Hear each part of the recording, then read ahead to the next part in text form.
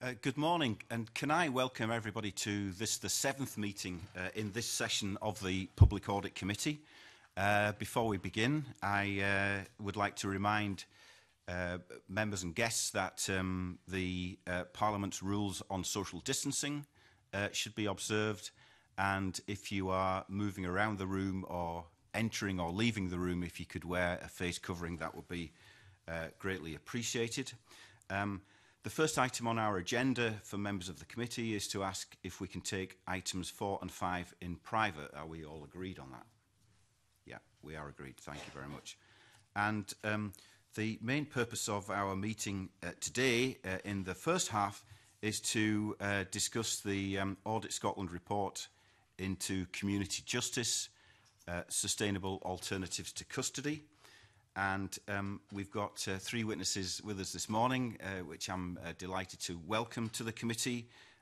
Uh, we've got uh, Joe Griffin, who's the Director General of Education and Justice. Uh, we've got Neil Rennick, who's the Director of Justice, and we've got Katrona Dalrymple, who is the Deputy Director of Community Justice and Parole uh, in the Scottish Government. Um, We've obviously got a, a number of questions that we'd like to uh, to ask you, but I wonder, uh, Mr. Griffin, if you would uh, uh, like to begin by making an opening statement. Thank you very much, Convener. Um, I would like to thank the Public Audit Committee for inviting me to give evidence today alongside Neil Rennick and Kat Dalrymple. I very much welcome the opportunity to discuss Audit Scotland's recent paper, Community Justice Sustainable Alternatives to Custody, following on from the Auditor General's evidence to the committee on the 30th of September. At a time when the Scottish Government has an increasing focus on community justice, Audit Scotland's report and its planned work for 2022 will be enormously helpful in informing our approach to this vital area. And the various points raised are relevant not only to community sentencing, which is the main focus of the paper, but also to wider community interventions such as diversion from prosecution and alternatives to remand. Overall, we agree with Audit Scotland that there are some challenging issues to address within community justice, as well as opportunities to improve outcomes. But I would stress at the outset that it's important to see community justice in the wider context of the changing nature of crime over the past decade, with a downward trend in levels of crime overall, but increases in prosecutions for certain types of crime, especially sexual offending. It is a complex picture. Finally, I would like to take the opportunity to thank all those involved in delivering community justice services, including justice social workers, community justice partners, third sector organisations, and a range of others for their work during the pandemic in maintaining critical services in incredibly challenging circumstances, supporting individuals and orders, and keeping our communities safe. The ongoing impact of COVID on the sector and the wider justice system will be a key consideration in our next steps.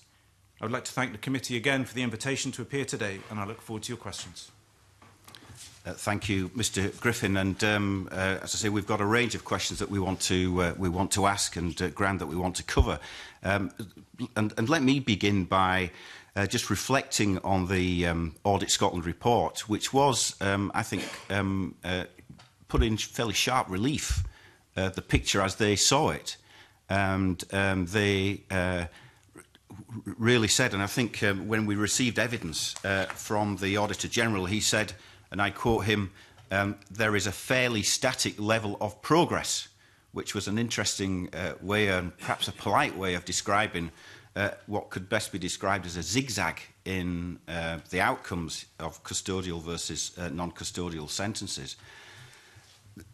Again, I just think it's important to um, uh, emphasise that the findings of Audit Scotland were that uh, for people sentenced for uh, one year or less, if they were uh, uh, put in uh, custody, there was a 49% chance of uh, reconviction within the next year, whereas if they went into uh, community justice, uh, there was, I think, a 30% uh, chance of uh, re or probability of reconviction.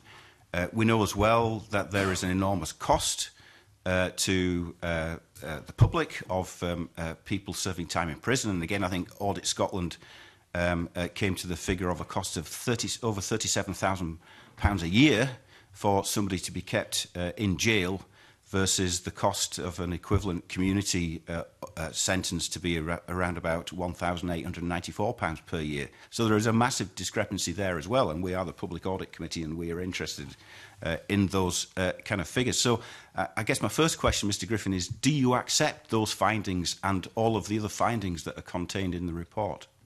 we, we accept the recommendations to government um, and everything that Audit Scotland say is factually correct. I think it's important, though, to look at the overall context when we're looking to compare custodial and community sentences in particular. And I think in that context, we can say that perhaps more progress is implied by, than, than the way it's sometimes framed. So if I may, just three key facts about the last 10 years. So first of all, the number of disposals overall has fallen by 40,000. Secondly, the number of individuals sentenced to prison in the last decade has fallen by 4,000, that's some 18%. And thirdly, the number of short term sentences of 12 months or less has fallen again by 4,500 in 10 years, that's around a third. So we're seeing less activity in the justice system, fewer sentences, fewer individuals going to prison, but those that are are going for a longer period of time. And it's the growth of these longer term sentences that's keeping the prison population high and keeping the share of custody as opposed to community justices uh, at the sort of levels that um, Audit Scotland have correctly identified.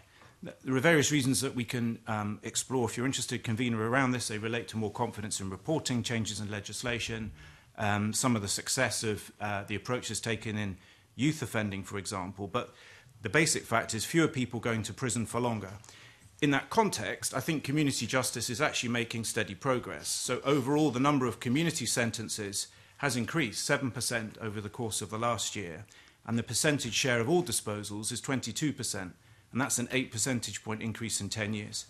Now, we're really ambitious to do even better than that. For all the reasons that you've outlined and that the Auditor General outlines in his report, the discrepancy in terms of outcome, the discrepancy in terms of cost, makes us really ambitious. We are still seeing short-term sentences – So we saw 1,400 people getting a custodial sentence with the main charge of shoplifting in 1920.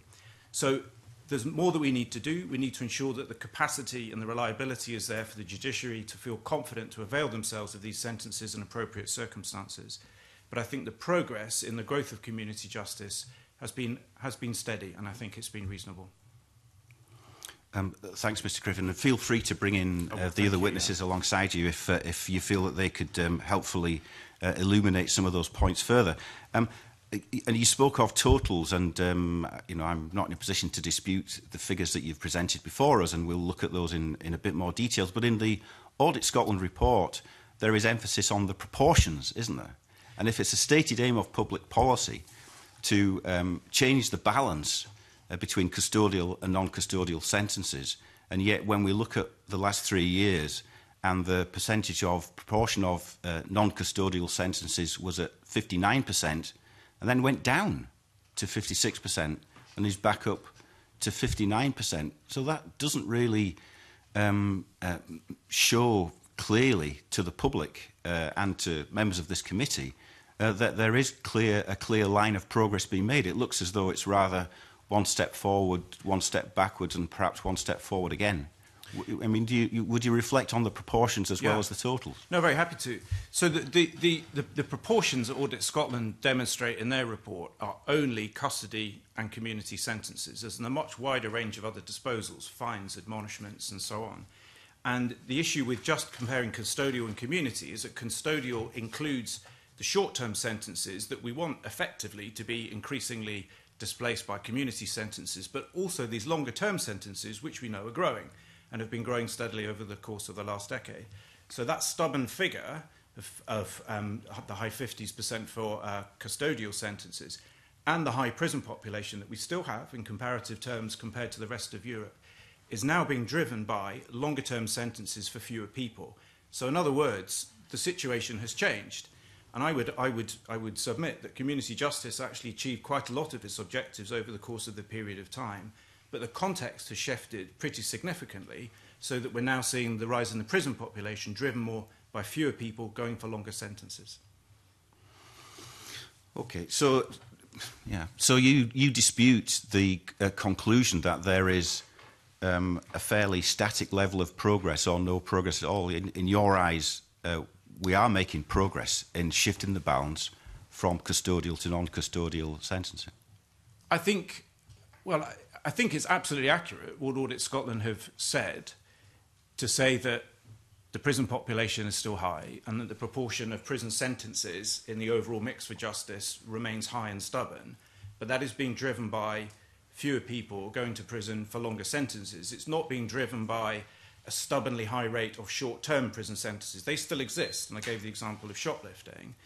But community justice has grown, community sentences have grown, but we've seen a shift to a longer term picture as well. So that's the slight, I suppose, disadvantage of just making that direct comparison between custody and community, that custody includes the short term and the longer term.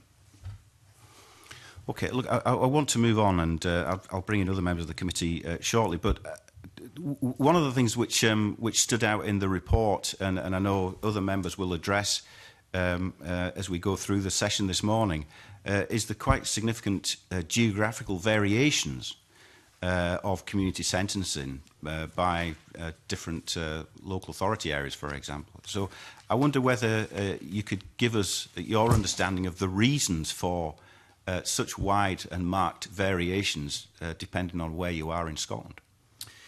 Yeah, so the, the, the, Audit Scotland focuses on community payback orders, and there is a table in the in the paper which shows um, those wide discrepancies. Again, it doesn't tell the whole picture because there are other community disposals and other alternatives to prosecution that also lie in the mix. So, in those areas that appear to have relatively low rates of community payback orders, they actually have relatively high rates of fines, for example. So, it's not a complete overall picture. But that issue of regional discrepancy has been something that that has troubled us for a while that does that is a feature of the system.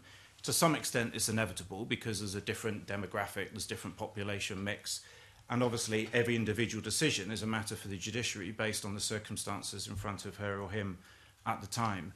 I think a lot of what it comes back to is the importance of partnership working here. So, community justice is the product of different organisations working together. There are eight statutory partners, there are more that sit around the table. And there's a lot of variability built into that in terms of local um, resource, local priorities, local performance, and also the quality of the partnership working, the degree to which people buy into the process. And I think that's partly at the heart of it. I think whatever system you have for community justice, because it is holistic and cross cutting, you'd need partnership working. And that can be harder sometimes than to hold partnerships to account rather than individual organizations. But I think it's something in that mix. Um, we, we do have some plans which I, I can talk about um, about how we want to improve some of that regional variability uh, in due course. But I, I think it does need to get better. Um, but again, the whole picture, I think we need to see these other forms of disposals in the mix as well.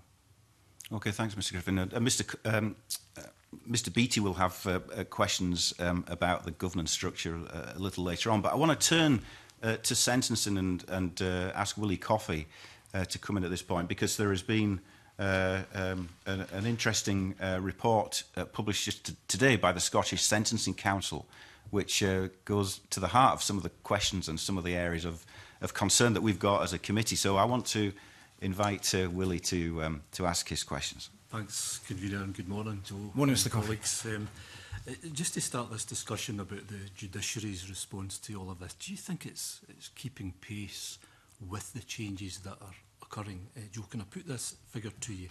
From the data that we have, it seems to us that you're twice as likely to be reconvicted if you've had a sentence previously compared to a community disposal.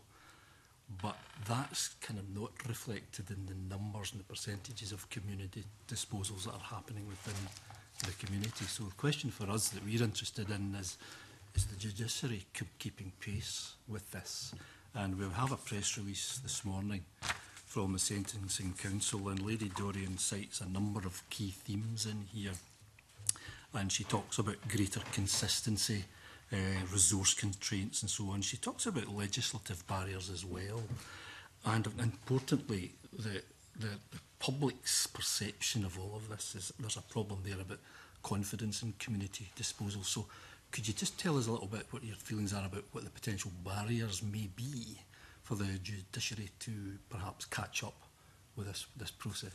Thank you, Mr. Coffey. So, we really welcome the report this morning from the Sentencing Council. Um, we think it's incredibly useful to have that insight from um, the judiciary on how they view community justice, what some of the obstacles may be, We previously had a report in 2018 from the Council on the purpose of sentencing, and they set out five essential purposes. One is protection, one is punishment, the second is rehabilitation, the fourth, the giving the opportunity to make amends, and fifth, an express, expression of disapproval um, of the Act. And I think it's through that lens that you see the judiciary then looking at community justice. Mm. I think the report this morning does demonstrate that they understand the benefits of community justice. I think I get the sense from that there's a shared ambition to see more of it for the reasons that you uh, set out. Um, and also, they do, I think, make a really helpful contribution in pointing out some of the things that maybe just plant that seed of doubt in a sheriff's mind when they're examining a situation about whether this is the best course of action uh, for them. And I think a lot of that analysis is quite well aligned with the Audit Scotland report. It's aligned with what Community Justice Scotland say in their annual report as well, what they would also tell us when they report into government. I think some of it um, feels as though these are issues where we are, if you like, on the case. Um, there is a review underway of the community justice strategy. There's something about the outcomes framework and the data, which I'm sure we'll come up to in a moment, which is which is definitely not where it needs to be. And I think a number of the other issues they point out, again, reflect the holistic nature of the system. Because if you're effectively dealing with offending behaviour, you also need to be looking at homelessness, drugs, uh, alcohol, employability, and so on. So the quality of that partnership that brings forward these disposals that can face these different ways and then give judiciary that confidence, I think is really, really important. So we, we see the overall report as a as really helpful contribution, and I think both the growth in community sentences and the fact that the sentencing council – have taken the, the, the time to inform the debate in this way suggests to me that there is also a shared interest in the judiciary and community justice continuing to grow. Mm -hmm.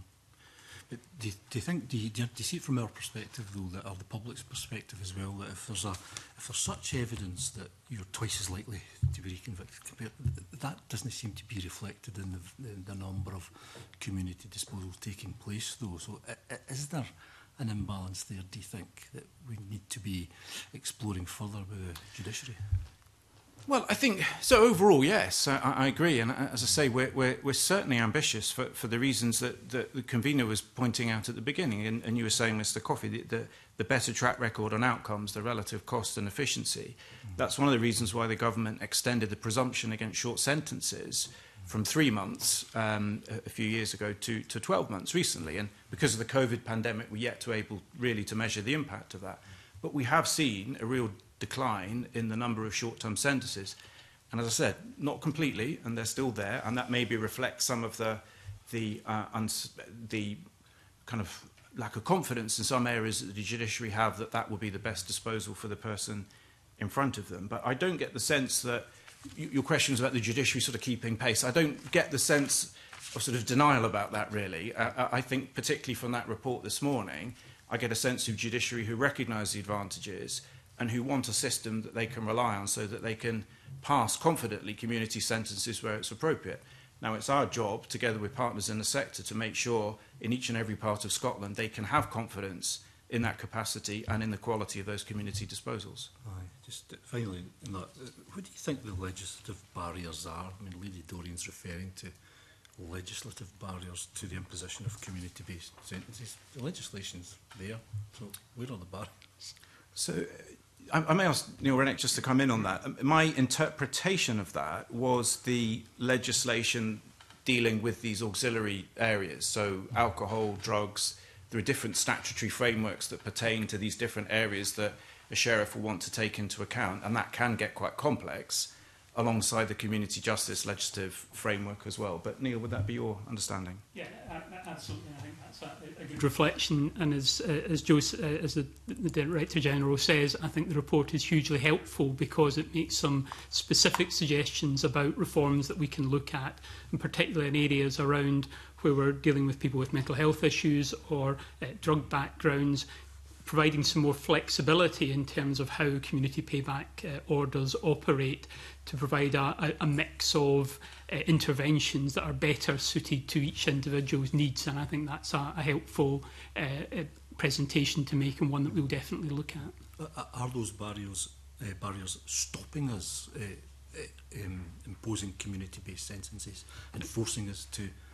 to have custodial sentences. Is that what we're talking about? I, I think my reading of what the uh, uh, what the, the, the report says, and again, I've only had the chance to, to, to look at it uh, briefly, and we'll, we'll look at it in a lot more detail, is that it's that mix of both the legislation in terms of the, the choices that we've got, got available in terms of designing that package for each individual, but then also some of the access to those services, particularly around mental health and uh, and drugs. So I think we, we need to look both in terms of the, the options that are available and then ensuring that those options are available in each community as well. So we, we'll definitely pick up on that. Okay, Th thanks very much for that. Thank you. Yeah, um, uh, thanks, Mr. Rennick. Uh, Craig Hoyer's got um, some other questions to probe a bit more into this area too. So, Craig. Thank you. Good morning, Mr. Griffin. Um, Good morning, Mr. Just looking at this morning's uh, report from the Scottish uh, Sentencing Council, um, it refers to the fact that the Council is of the view that there's a lack of public awareness and confidence in community disposals. And I just wanted to dig a little bit deeper in, into that because it suggests that uh, more work uh, needs to be done to raise and enhance uh, public understanding of community uh, uh justice. But the report out today also refers to a, a Mori survey, an uh, Ipsos Mori survey that was done uh, uh, a few years ago, which looks at various scenarios and um, essentially tests public opinion and public confidence in, in relation to um, custodial versus uh, community uh, uh, sentences. And I think one, one of the issues here is whether or not um, greater awareness will lead ultimately to greater confidence in uh, community justice. Because um, one scenario put to uh, uh, those who were being polled uh, concerned uh, an individual who was found to have uh, indecent images of, of, of a child on, on their laptop and asked whether or not that individual should get a custodial sentence, 77% were of the view that that should carry a custodial sentence. But in effect, because there was no images of abuse of, of, of, of the children, it would most likely attract a community payback order. So I suppose what I'm asking here is who should really be uh, in, in, in the driving seat here? Should it be the government, uh, the public, or, or the judiciary, because I don't have uh, confidence that a greater uh, awareness will lead to a greater confidence in, in, in the system. And, and what is the, the, the government's present thinking in, in, in relation to that?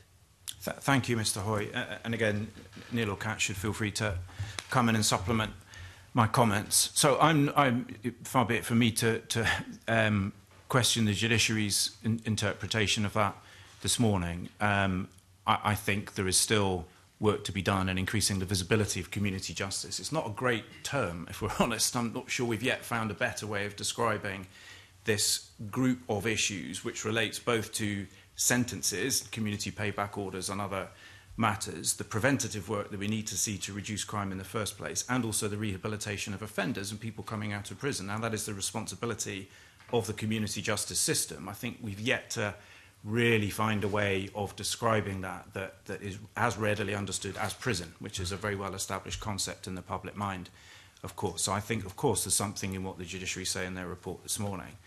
I think in terms of whose responsibility that is, I think there's something on the Scottish Government, of course. Um, I think the public debate has been, by this administration in different guises, has looked at the balance of prison and custody for a considerable period of time, going back to Henry McLeish's report in 2008 and the Prisons Commission there, and there's been a consistent political and public dialogue about that. We have Community Justice Scotland now at a national level who are able to increase visibility and do the work that they do. And of course, at a local level, there has to be ongoing work with communities to understand um, the nature of the system that we're talking about. I think your point about does awareness necessarily equate to greater confidence, I think is a really, really interesting one.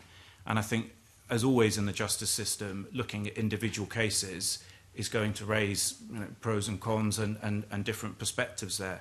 I would go back to those five principles of sentencing that the council have set out. And again, that, that might be something for the public to have a greater awareness as well. So there are those five different aspects that a sheriff will be weighing up at any given time in the specific circumstances concerned. So whether that's protection that needs to be given that um, uh, real focus or it's a rehabilitative element.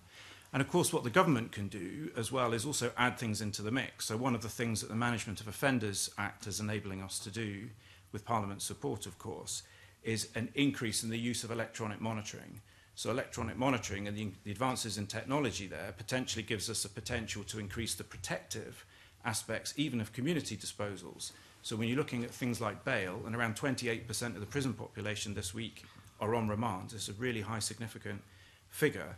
The greater use of electronic monitoring gives that greater degree of security and protection at the same time as allowing us to pursue those other aspects around rehabilitation or the opportunity to make amends that community disposals give us. But Neil or Kat, I don't know if you'd like to add a thing to response to Mr High. Just the one other area I'd maybe mention is the role of the, the, the Sentencing Council, the Scottish Sentencing Council itself, who have a, a specific statutory role in terms of, of raising awareness of, of sentencing they've done some really interesting work. They, they published a report in, in 2019 about um, public awareness of sentencing, and that showed very high levels of awareness of community payback orders and uh, electronic monitoring as sentencing, uh, sentencing options, with uh, 98% of people saying they were aware of those, those sentences, and uh, a majority of people, 63, saying that they had confidence in the, the fairness of the justice system but it's clear that there's more that we need to do in terms of improving wider understanding of the, the, the breadth of options that are available around community uh, payback orders and community sentences uh, and around building confidence in that as a, a rehabilitative model. And uh, again, I'd, I'd mentioned the work that Community Justice Scotland have done around this in terms of promoting better understanding of individual cases of people who have been, uh, exactly as you say, through the, the community justice system and have, uh, have turned their lives around. And that's been a, a, you know, a really positive uh, contribution that they've made. Yeah. Is, is there a risk, perhaps, though, that if you don't persuade the public or through a process of raising awareness, that you could actually damage confidence in the concept more generally? Because in the case, in this case, for example, of, of where 77% believe that that should carry a custodial sentence, whereas it, it would in practice uh, attract a community payback order. Um, do the public just have to say, do we just say tough to them, you know, that, that the, the, the, the system doesn't reflect their idea or their concept of justice? No, I, I don't think we would ever take that approach. Um, I think again, every individual case is going to be different. So every set of circumstances need to be understood in its own terms. And it's the aggregate of that that, that we then think about in terms of the justice system. And I do think where there are concerns in the public, there are ways that the government can help respond. And I gave the example of greater use of electronic monitoring alongside these other disposals that, that, seek, us, that, that, that seek to do that. So I think that, um, and, and this is this is this is more for our, for, for our ministers rather than us as civil servants. And of course, we support and advise them in, in bringing forward that information. But an understanding of the public mood, uh, I think, is incredibly important in the justice system. And um, both the, the people involved in orders and their families and victims absolutely need to have confidence in the system. We, we certainly wouldn't question that. Okay, thank you. Thank you. And I want to um, uh, bring us back in now uh, to the Audit Scotland report and some of the uh, nitty gritty of that. And I know that uh, Sharon Dowie's got uh, a series of questions which she wants to put to you. Uh, Thank you, based Convener. on the Morning, Mr Griffin. Morning, Mr. Dowie. Um, there's a lack of data on the wider outcomes for people who've been through the justice system, including things like employment or health. Um, there's also lack of data to allow Community Justice Scotland to be able to assess how much progress community justice partnerships are making towards national outcomes. So why Community Justice Scotland has been unable to effectively assess how much progress has been made against national community justice outcomes. Thank you. Um, so I'll be really clear on this point. I think this is an area we need to improve um, the governing framework for data is something called the Outcomes and Performance Improvement Framework. That dates back to November 2016. It was actually put in place just before the establishment of Community Justice Scotland. And you have in there a statement that community justice should be looking to achieve seven outcomes defined at a national level. Four of those relate to the health and the functioning of the system, and three relate to individuals going through the system. And then behind that, you have 26 national indicators that look to try and track. Now, I think th th there's a couple of things that, that we've learned are not working well with that. Um, one is, I think around half the indicators are qualitative. So they are statements about um, an improvement or a state of affairs. They're a kind of almost subject, they lend themselves to a sort of subjective narrative return, and that's invariably what you get from partnerships back to Community Justice Scotland, and then in the Community Justice Scotland annual report, you have a summary of what people are describing by way of improvements in processes or relationships. That makes it quite hard to aggregate up in the way that if you had numbers and quantitative data, you can then say, you know, out of the 30 partnerships, we can say that this is improving by X percent. You're dealing more in, in, in language and, and judgment there. And then the second area is that in the quantitative indicators that are there, which are about half, Some of them are readily measurable at national level, but not at local level. And I think at the time, the aspiration was to put in place a data system that could do justice to the breadth of what community justice could achieve, which brought in a, a couple of challenges. So, one is that inability to actually measure some of them at local level.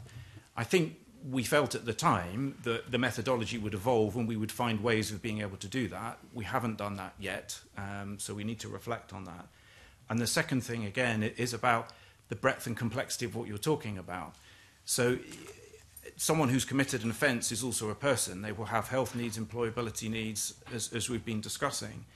And the ability to measure all of those and track them consistently at that individual level is bedeviled by all sorts of different data sets and data protection agreements, and some are reserved and some are devolved. It's a complex picture, and that's not a cop out. I think we need to try and get to that place so we can do justice to the complex aspects facing those individuals.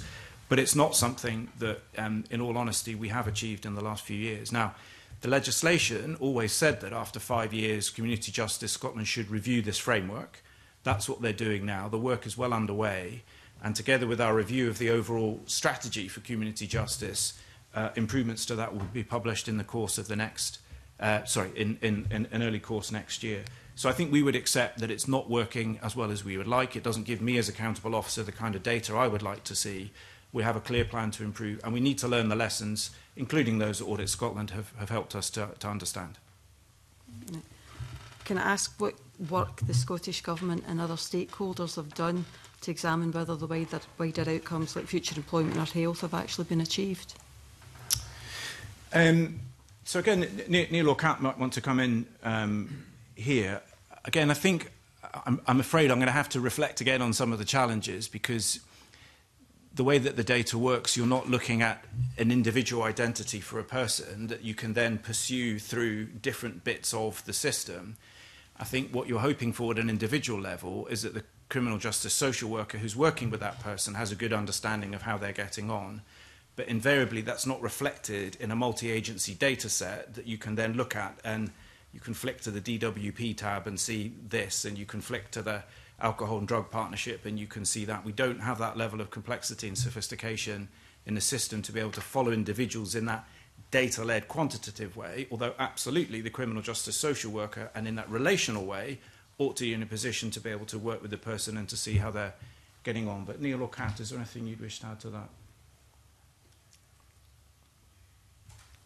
Eh, It was just obviously Mr Griffin has identified that measurement is, is really challenging in this sector. Um, and I guess um, understanding our impact is equally served by understanding the interventions that we implement um, and, and they're evidence-based. So we begin with that reasonable belief that we should contribute to the outcomes we're seeking, even if we can't um, exactly measure that contribution. Um, and we base our strategy on the principles that are clearly supported by the academic and the evaluation literature. For example, we know that seeking to divert people from the justice system early on, seeking to divert people from custody whenever appropriate, seeking to address offenders' underlying needs and, and, and addictions um, are all um, you know, going to improve outcomes in terms of um, the ultimate um, aim.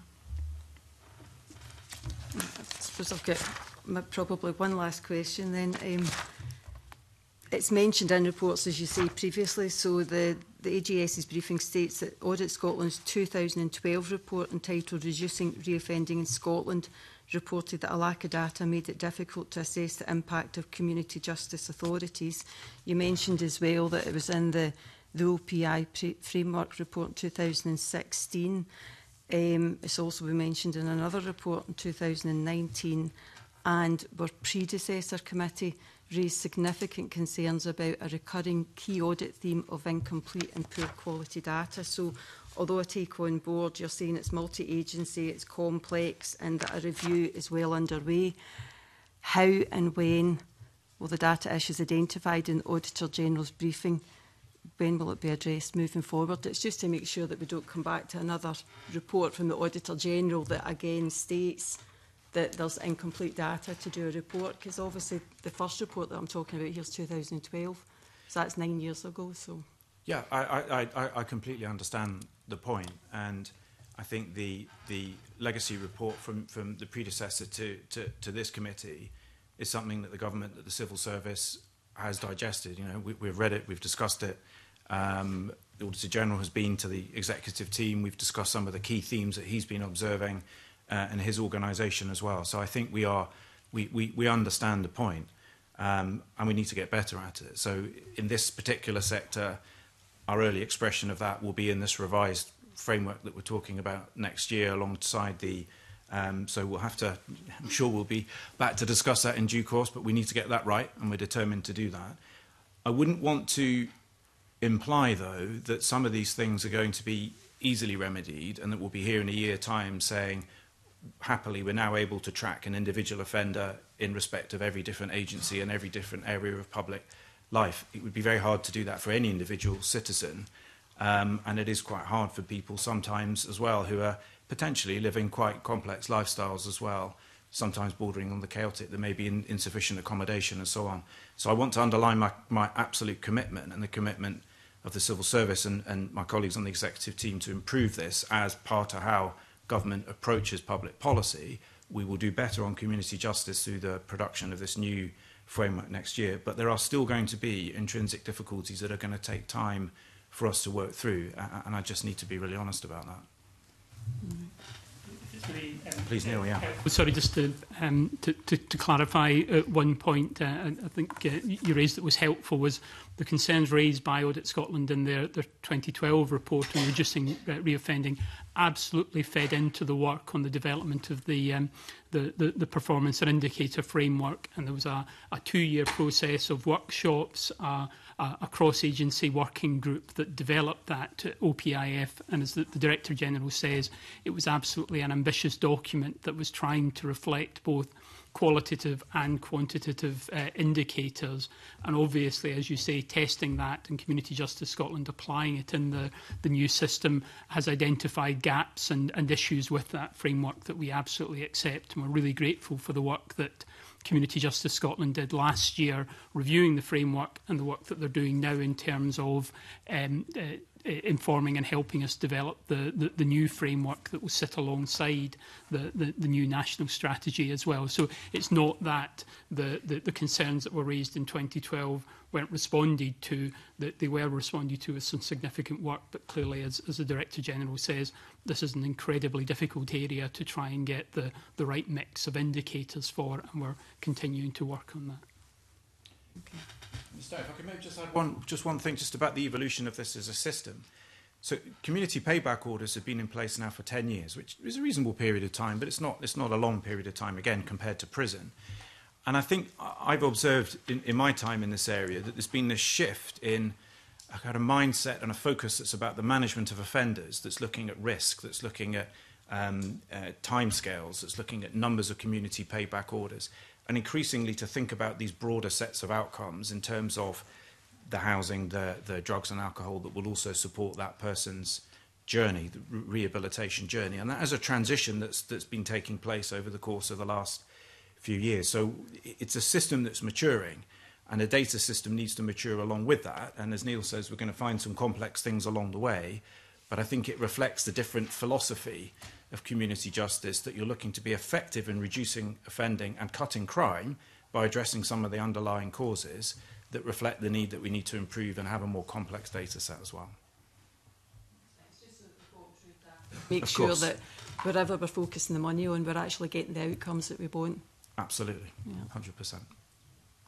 Griffin, you'll understand that this committee has a healthy appetite for data. And, Con uh, conveners, and you'll understand as a accountable officer, I too have a healthy appetite for Yeah, well, for, it's for um, outcomes, performance and improvement, isn't it? Of course. So that needs to be measured, and it 100%. needs to be measured in a, in a meaningful way. Um, but we mentioned earlier on um, in your evidence um, about the governance and accountability uh, uh, lines, uh, particularly since the Community Justice Act um, 2016 And um, I know Colin Beattie has got a whole series of questions to ask about that. So, Colin. Thank you, Convener. Yes, uh, roles and accountability. Um, I'd particularly draw your attention to uh, paragraph 9 of the Auditor General's report uh, and also to paragraph 13, bullet point 1, which is the first uh, issue that, uh, or at least the first priority that the Auditor General has listed. And I'll quote whether all stakeholders involved in the planning and delivery of community justice have a shared understanding of lines of accountability and areas of responsibility. Do they? Sorry, I, I, I can't. So the kind of the, the literal answer to that is I can't give an authoritative answer in respect of 30 partnerships with eight stat statutory partners in each. My impression um, is that there is a good level of understanding. I, I think the Act is clear. I think there is a complexity that comes from trying to combine both a local approach that needs to be cross-cutting and joined up, and that's the partnership bit, with a national uh, function, which is the community justice bit, which is in terms of gathering the data and securing the improvement, and the Scottish Government has a, a role in that as well. I think within the Act, the duties are such that you could see different levels of effectiveness and different levels of engagement. So if we take something like planning, the act is really clear that partners need to plan together. Now what that looks like, that has a scope to be to be variable in different areas. And one of Community Justice Scotland's themes is they're not seeing enough strategic needs planning at a local level. So there's a real sense of the capacity and the different needs within the community sector. So it's quite hard to give an authoritative answer to say, I can guarantee each and everybody does. I think the Act is clear enough. Um, it's been in place for a number of years now. And we also have the Care Inspectorate now undertaking scrutiny in community justice, which is incredibly helpful actually. And they're also providing good feedback um, that help, helps people to improve. But from your perspective, do you believe that uh, the individual stakeholders involved all have a common understanding of their responsibilities and roles? Yes, I do. Um, I, I've, put another way, I've no reason, I've no reason not to. Um, I, I think it's a pretty reasonable question to ask. And again, because of the scale of what we're talking about, um, at a literal level, eight statutory partners, 30 partnerships, um, it, it, it's a hard thing for me to say, but I don't, I, I'm not hearing a steady stream of information to say there's a real problem with this agency or that agency over there. But I think uh, I detect a certain amount of uh, uncertainty Eh, in, in your responses in regard to being absolutely sure that everybody understands their roles and responsibilities. And maybe one of the issues there is the community justice partners still remain accountable through their usual accountability arrangements. Does that create an issue? I think I think the issue is that you need to have a partnership approach at local level. So we, we came out of the Community Justice Authority model, which um, was widely thought to, to not be working effectively, into this local partnership model, partly to reflect the local and partly to reflect the partnership.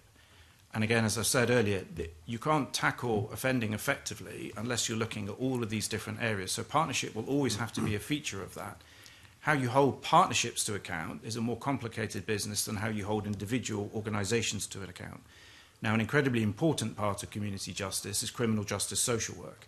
They currently sit within local authorities. It is really clear how they are held to account through local authority processes, and that, that, that is a really clear um, set of accountabilities.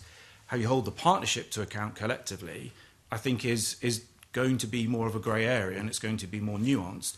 But the individual organisations need to report through their, through their accountability chains given this, given the fact that uh, you know we, all, we obviously want everybody uh, fully understanding where they are, what they're doing, and working together in a cohesive way, do you think Community Justice Scotland would benefit from additional powers to support its role?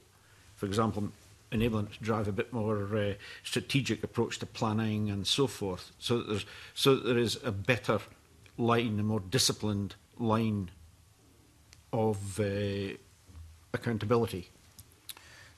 So community justice do Scotland do have um, more interventionist powers than they have used. So they they do have the power to go in and um, uh, make a make a direction. Uh, well, in, in, in that case, given the uncertainties, why haven't you done so? Well, it's for Community Justice Scotland to do it, not for yeah. not, not for the government. Um, I what they haven't done is to avail themselves overtly of that power. What they have done is behind the scenes to have discussions, to have interventions, to try and promote that collaborative working. We've also seen the Care Inspectorate since 2019 um, restart their scrutiny in this area, which has also provided that degree of challenge uh, and improvement actually in a number of different areas that were previously struggling. It, there's always a balance between a kind of direct quasi-punitive intervention and something that you look to try and achieve through collaboration and improvement. Up until this point, it's been more the collaborative and the improvement approach. Those other powers are there, and it's something I'm sure we'll be reflecting on. We're reviewing the strategy, as I, as I mentioned earlier on, um, as the legislation requires us to do. And it may be that, that partners feel as a result of that that we need to turn the dial up in some of the more direct interventions. I'm certainly open to hearing evidence that that would be an effective thing to do. So given that you believe that Community Justice Scotland have the powers, why aren't they using them? I mean, the Auditor General, this is not the first time this has come up. I mean, during the 2016 consultation for that uh, particular uh, act, uh, many people said, stakeholders said that they were unclear of responsibilities and roles. It still sounds as if there's a weakness there. If Community Justice Scotland have the powers, why don't they use them? And if they don't use them, why doesn't the government push them? Well, um, uh, I may ask Neil or Kat to, uh, to, to come in on this one. Um, my understanding is that they, have, as I say, they have chosen to take uh, an approach that's more behind the scenes, that's more about promoting collaboration and improvement, than avail themselves of interventionist powers that would be seen as a really significant thing. Neil or Kat may be able to help some, shed some more light as to what their thinking has been behind that.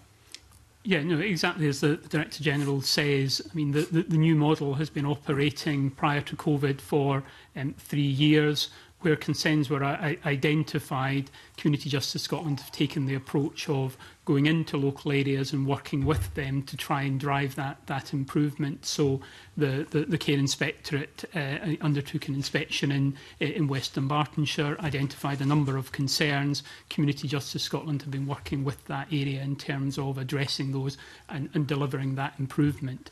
You're right, obviously the the, the power to, to the, the direction power exists there for Community Justice Scotland, and it's for them to decide whether to apply that or not. But the, the, the reassurance we've had from Community Justice Scotland is that they are uh, intervening, intervening and working with the local partnerships to try and drive that, that improvement.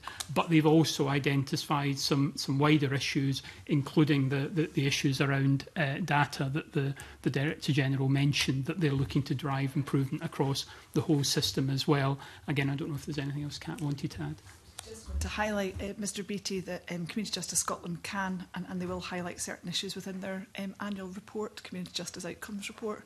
And in the last report, they did highlight concerns about three areas um, that hadn't renewed their outcome improvement plans as required. So they've highlighted some areas. The Auditor General's highlighted some areas. There seems to me a problem and one that needs to be addressed. Community Justice Scotland's got the powers.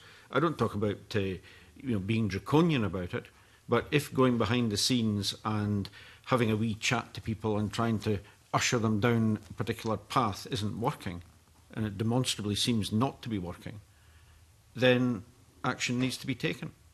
So I'm not. I'm I'm I'm I'm I'm open to that line of argument. As I say, we we've got a consultation underway at the moment about the strategy and how it's working, and I'm open to seeing evidence that a more interventionist approach would deliver results. I, I I don't quite, I wouldn't quite characterise the system as, as not working. I, I think there are... I, so, I didn't use the term not working. Sorry, excuse me. Uh, forgive me, Mr Beat. I didn't mean to, uh, in my turn, mischaracterise, um, mischaracterise you. But I, I haven't seen any... I haven't seen evidence of, of egregious problems up to this point that I think would justifiably have caused Community Justice Scotland to go in with a directive and interventionist approach. If I can and yet, like stakeholders that. in Audit Scotland have expressed concerns.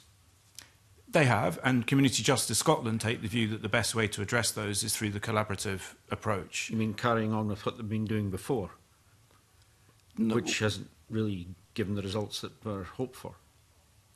Well, I think I, th I think I think there are positive results, and Neil gave the example of Western Bartonshire. I think that's a really good example of how a partnership that was um, was was finding some things difficult. We're able to respond to care inspectorate scrutiny, make some improvements to the care inspectorate's satisfaction. So I, I think I think there there's a combination of things here. I think the data that we do have, I think the com the community justice Scotland approach as they judge to be uh, necessary. There's then also the scrutiny, which has restarted since 2019 from Care Inspectorate, which I think has been important. We've got to get the data sharpened up so we've got a clear idea of performance, including relative performance across the piece. And, and then there's a judgment to be made by Community Justice Scotland about what will best get the improvements and the results that they, um, that they need to take. But I'm, I'm, I'm absolutely, I'm, um, I would be poorly placed to say, and we must never take a more interventionist approach. I'm open to that line of argument. Have you, have you accepted the Auditor General's report? Yes, yeah in that case, you're also accepting the fact that there is an issue around accountability and, and lines of responsibility. It's a question then of what are you actually going to do about it to change what's happening now to ensure that these required outcomes are achieved? I, th- I think I think there is a complexity um, in the in the system and the accountability. We don't have plans to review the 2016 Act and therefore to um, to, if you like, um, make significant changes, we do think we've got to address the data. That's really, really important. And we've got to look at the overall strategy. Data is important, but it's but and, and, and absolutely essential. But the fact is, if people don't don't necessarily fully understand their responsibilities and uh, areas of accountability and so forth, then you've got a fundamental problem right from the start. And it seems that a uh, softly, softly approach behind the scenes over a number of years hasn't really delivered. So there must be a need to revisit and see what needs to be done to pull this together. Well, as I say, the, the, there's a review that's underway at the moment. The legislation always provided for that, and I'm happy during the course of that to hear evidence that a different approach would um, would would would would get better results. I don't I don't accept that there are egregious problems in the system. I think we're making steady progress, as I, as I pointed out in my earlier remarks. There's the opportunity to hear how taking a different um, focus in some different areas could lead to improvements. But the government doesn't have plans to revisit the, the, the framework, the accountability framework that's set out in the Act. You are always going to need some degree of partnership at local level. You're always going to need some kind of oversight and improvement function at national level this strikes a balance and we, we, we need to keep improving the way that it functions rather than visiting the fundamentals. Hmm. Okay, thank you very much indeed. And we're in our final uh, uh, few minutes and uh, if other members want to uh, come back in for another um, go, then they're, uh, they're welcome to do that. I just, I mean, it just struck me going back to uh, the, the overall outcomes and where we began which is that uh, we do have a national strategy which has been in place since 2016. Uh, we've got an Act of Parliament uh, which provides for a new institutional structure to deliver community justice.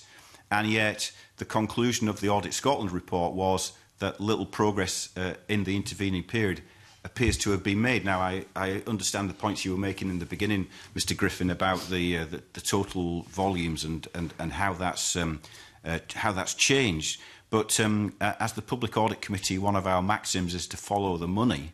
And if you look at the Audit Scotland report, it says community justice funding makes up less than 5% of overall justice funding. And there has been little change in recent years. I mean, if you were following the money and this was a priority and, and everybody wanted to see a change in the balance between custodial and non custodial, why is that so static?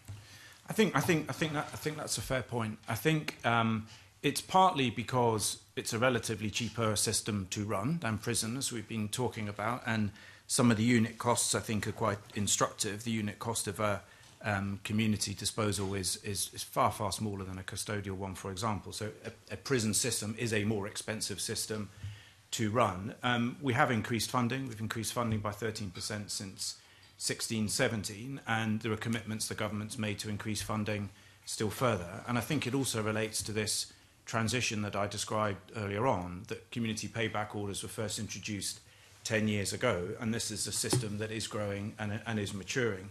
The other crucial thing about community justice, again, is its breadth. So, to some extent, the funding that relates to criminal justice social work that the government provides through Section 27 that's hypothecated is only part of it. And the reasons for having a partnership approach, which brings complexity in terms of accountability, is that other partners also bring resources to the table. And when I speak to colleagues in localities, they tell me that that is happening. So you have drugs and alcohol partnerships also bringing their resources to the table.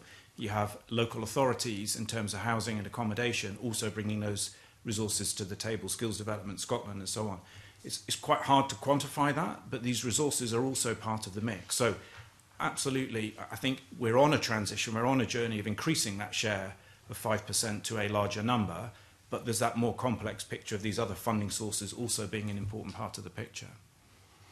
Well, I mean, two things arise from that. It, I mean, would it be possible to get that uh, information, that data, into the public domain? Because if the uh, point you're making is that 5% doesn't capture the full extent of the uh, additional resources which are now going into community justice, then it would be it would serve your argument and it would uh, you know serve the uh, the case for the performance of of uh, your department uh, to demonstrate that uh, more resources are going into that. As I say, uh, follow the money is quite an important is, is quite an important uh, maxim, isn't it? And I guess the other um, uh, uh question that arises for me is um, um, and one which, again, uh, we asked in the session with Audit Scotland on the report is, do you have any targets? You know, we met, I, I mentioned the 59%, 56%, 59% figure. Are you, do you work uh, towards any kind of formal or informal or internal or externally set targets for that number? Um, we don't. Um, the idea of a target for the prison population has been mooted. Uh, it was mooted by um, Mr. McLeish and his Prisons Commission report, um, a target of some 5,000 actually, to ensure that the prison population remained at a level that was comparable to other European countries. I think, I think ministers took the view at the time, and, and this would still pertain really, that there are a couple of factors that make that difficult. One is the independence of the judiciary. Um, so for the executive to uh, constrain the independence of the judiciary to make the kind of sentences in that in that very crude and target based way I think is is problematic. And the second thing is the unpredictability of the system. So I described in my early comments the big change that we've seen away from the short-term custodial sentences to fewer sentences of longer length. We couldn't have foreseen that in 2008.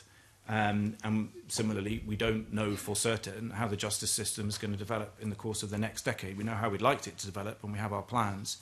and where we wanted to go. So I think I think targets are uh, problematic as far as the prison population is concerned. In terms of community disposals more generally, personally, my mind is not closed to the idea that that, that we could consider that. Uh, again, I think we have to look at the the range of community disposals, not get too fixated on community payback orders, as important as they are, but understand the full mix as well um, in terms of some of the pre-sentencing options that also exist there. And that's something that we can give some thought to in the refresh of the strategy. But I think a target for the prison population, I think, is problematic. Yeah, I, wasn't suggesting a target for the prison population. What I was uh, referring to was the whole basis of uh, the conversation this morning, which is about the proportions again. Yeah. About you know, how do you get a shift from a custodial to community-based justice options? And so um, that's not about a cap on the prison population. That's about sure. how do you shift uh, from disposals that are custodial based to disposals which are not custodial based. And, and my question is, are you set any targets uh, on that shift in yeah. balance from one to the other? So, so the answer to the question is no, okay. um, we haven't. Um, but again, I, I would just go back to the point that we have seen a shift from short-term prison sentences to community sentences. No question about that. The data is really clear. But in parallel, we've seen an increase in longer-term for instance. So the nature of the challenge, if you like, has changed, which again could call into question the usefulness of targets for that percentage because you're not comparing the same things as you were 10 years ago, if you, if you follow me. But the clear answer to your question, convener, is no, we, we don't have plans for a target. Of course. On, on one, uh, one issue, uh, and the Director General is absolutely right about the importance of um, that, that switch round in terms of the reduction in, in short-term sentences. And you know, obviously, when we talk about percentages and numbers, it can feel um, you know, uh, very unclear. But you know, even in the short space of time um, since the new arrangements came in place in 2016-17, we've seen a, a 1500 drop in the number of people going into prison for short-term prison sentences. That's, that's 1500 people not having the disruption to their housing, to their employment, to their family lives. Those are really important changes that have happened uh, you know, in the short term, and then as the, as the, the Director General said, over the longer term, much larger numbers, 4,000 reduction in, in the, the number of people going into to prison. Well, we haven't set targets for specific elements of the, the justice system because that reflects decisions by the, uh, the, the independent judiciary What we have done is provide some targeted funding for some specific areas. So a good example would be around supervised bail, where there was a recognition over a, a period of time that the, the use of supervised bail by the, the judiciary had been, had been dropping and that availability was a, an issue we provide some targeted funding um, uh, towards that, uh, around one and a half million uh, over three years.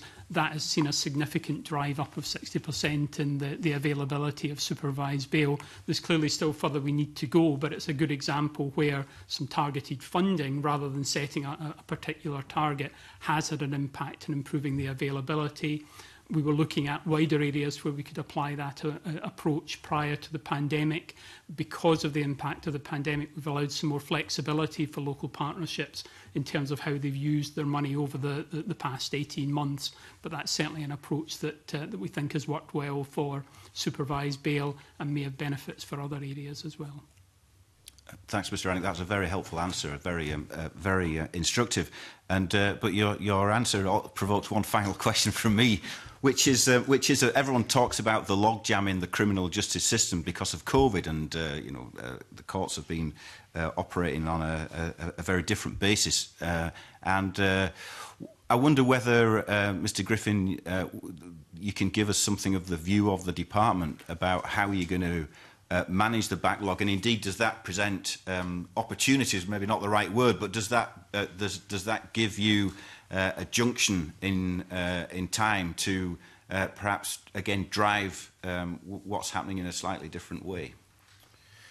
So I don't I don't know if specifically the recovery does, but the work on recovery is taking place at a time where we are considering these other things in in other ways. So a review of the strategy that we've talked about, the National Care Service consultation as well, which potentially could have implications for criminal justice, social work. Um, but the recovery from COVID uh, is clearly a really important part of it all. We've provided additional funding, as you know, 11.8 million so far. We'll be looking at the budget in, in light of Mr. Sunak's announcements yesterday as well to see to what extent we can sustain that in, in coming years. But I don't know, Neil, is there anything else you want to say about Mr. Leonard's question, which sort of specifically about the opportunity of recovery to help us make the shift? Yeah, uh, uh, absolutely, and that was something that was uh, that was recognised as we've been going through the pandemic. So very deliberately, the the, the the, the recovery um, program that we are following is described as a recover, renew and transform program, but built within it is the idea that there is that opportunity not just to return the system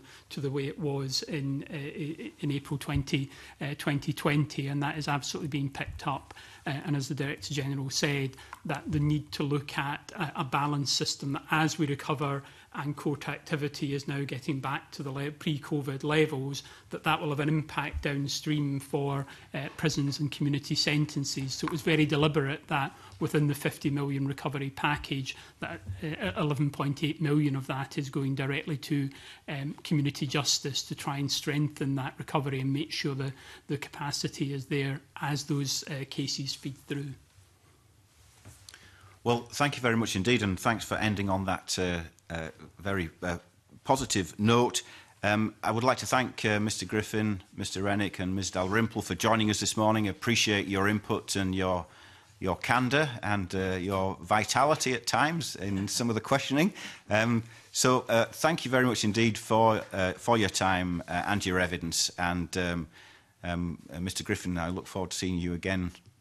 uh, soon, perhaps. Thank you, Convener. Thank you. I'm now going to um, uh, suspend the meeting to allow a change of witnesses to take place.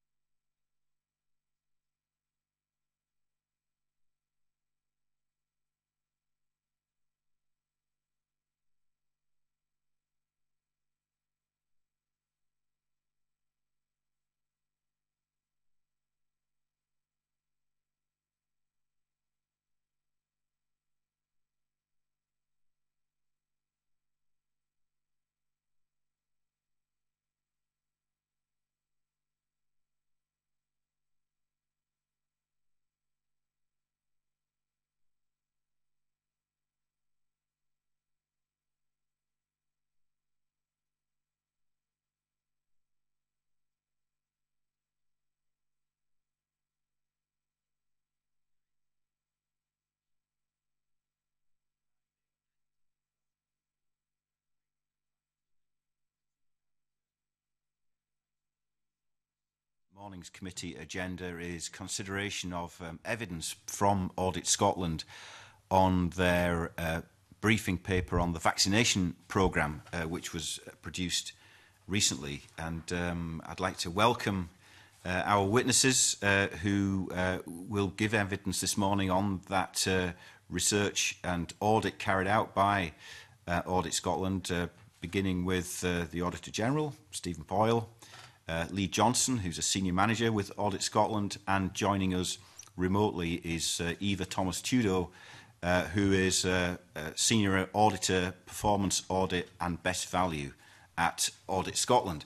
Um, I will um, ask uh, Stephen Boyle to give us a brief opening statement. And uh, just to say to Eva in particular, if you want to come in, if you can use the chat function and uh, put an R in there, And to all those in the room, if you uh, want to come in, if you just simply indicate to myself or the clerks, and uh, we'll do our best to take you. So, Auditor General. Thank you, Convener. Good morning, Committee.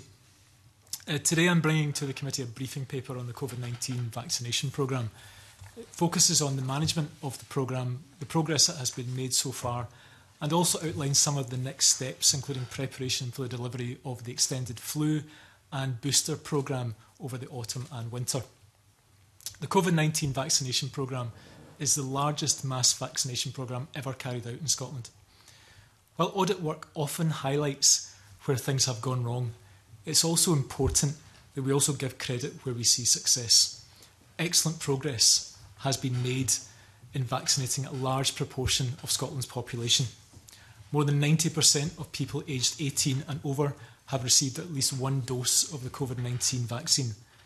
The programme has also been effective in reducing the number of people becoming severely ill and dying from COVID-19. Vaccines have also been delivered in a variety of settings and the rate of vaccine wastage has been low. My paper also recognises that there has been variation in uptake across sections of Scotland's population. The Scottish Government has been taking action to encourage people to take up the offer of vaccination – but a smaller proportion of young people, those in our most deprived communities, and those from some ethnic minority backgrounds have been vaccinated so far. The vaccination programme is being implemented under uncertain and challenging circumstances. Clinical advice from the JCVI continues to evolve and is needed to be implemented quickly, most recently through booster programmes. The government and NHS boards have done well to respond quickly to newly issued advice and eligible groups offered vaccine within days of clinical advice being published. NHS boards and health and social care partnerships have predicted vaccine, vaccine costs of £223.2 million in 2021-22. The expenditure needed, however, may change depending on any further advice from the JCVI. The Scottish Government has confirmed that vaccination costs will be fully funded by them for the 21-22 financial year. We'll continue to monitor the funding and spending and provide an update in our overview of the NHS in Scotland in early 2022. The programme has relied on temporary staff thus far to deliver a wide range uh, from staff across a wide range of NHS disciplines. This diverse workforce has enabled the vaccine programme to progress quickly, but it is an expensive model The Scottish Government has recognised that a longer term solution is needed and work is underway to recruit a permanent workforce. The delivery of the vaccination programme convener has been a success thus far, with good collaboration, joint working and new digital tools developed at pace. There are opportunities for the Scottish Government and the NHS to use the learning from this programme to inform the implementation of further stages of the vaccine programme and the wider delivery of NHS services as ever, convener, myself, Lee and Eva look forward to answering the committee's questions this morning. Thank you. Thank you very much indeed. And um, uh, it is a wide-ranging uh, briefing, and uh, we've got a wide range of questions to ask. So um, I'll uh, I'll get underway uh, uh, with a couple of questions uh, uh, to begin with. And uh, my first question is, of, of course, this is um, a, a broadly positive report, as you say, Uh, but there are challenges, uh, uh, not behind us, but challenges that lie ahead. And uh, we know that there will be uh, increase in pressures, uh, which we normally see uh, during the course of the winter on the National Health Service. There is, uh, as we know, a considerable backlog of, uh, of treatments, uh, and um, there is the continuing pressure of delivering uh, the vaccine uh, programme. Do you think that there are adequate structures, leadership, and governance in place uh, to withstand uh, uh, those pressures and to meet those challenges? I think um, it's undoubtedly clear. I don't think there's been any um, attempt to uh, understate the extent of pressures that are facing the NHS uh, in the winter ahead. I think I've uh, heard the Cabinet Secretary um, in a number of occasions over the past few weeks um, say as much as um, as the, to manage public expect, expectations about what we're facing.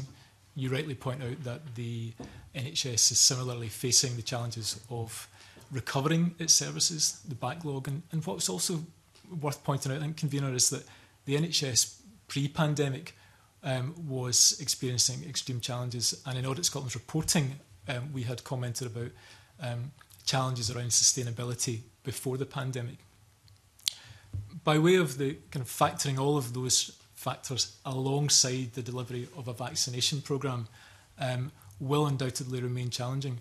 What we found in, in this report is that the structures, the funding, um, the pace with which the delivery of the program were all done um, well um, and uh, an, a, an effective program that was uh, delivered, delivered well. Um, whether that acts as a template for the delivery of NHS services and uh, over the course of the winter, I think remains to be seen. Um, but as it relates to, to the vaccine programme, um, we've seen uh, positivity, as, as we've commented on. And I think our next opportunity to, to um, pass comment, and particularly looking about the delivery of NHS services, tackling the backlog, will come in our NHS overview report that we'll produce in early into 2022 thank you, and uh, we'll look forward to that. I just, just one other point from me, or one other question from me is, is whether you could confirm that the costings in the briefing cover the booster program, which um, is um, is in front of us uh, now and has already started uh, for some categories uh, of the population. Um, do you also have any sense of um, uh, what the cost projections would will be for vaccine programs in future years? Have you, have you picked up in your work around the vaccination program that has been in place this year? Do you pick up any sense of a where things are with the booster, but what possibly a future vaccination program uh, might look like and the cost of it? I'll start and I'll ask Eva to come in in a, in a moment just to say a little bit more about the the detail behind some of the numbers that, that we uh, captured in the report. I think there are a number of variables. So the, the predictability of, of, um, of the cost into the future, the use of vaccines, the extent to which clinical advice might change probably reflects uncertainty and, and that is, um, with some degree of empathy, it will be challenging for the NHS to say with much confidence about what that might look like. The figure we quote in the, the report of £223 million for, for the remainder of this financial year um, is based on uh, assumptions that, any, that the Scottish Government gave to NHS boards about the delivery of the programme, uh, staffing, premises, and, and, so forth. So, so we um, subject to that being static in terms of the application of the booster programme, um, there's some degree of confidence. Looking into the future, probably less able uh, to say what that might look like, convener, in terms of the, the future cost profile. Um, we've seen some funding announcements that have come through over the course of the past few days and additional allocations to support the delivery of um, NHS boards, NSS activity for the rest of, of this financial year. And, I, and I, like others, will be watching closely what comes out of the Scottish budget um, and the draft budget later this year to see what the future cost might be of the delivery of the vaccination programme. But I'll ask Eva just to update the committee on any further information that we have.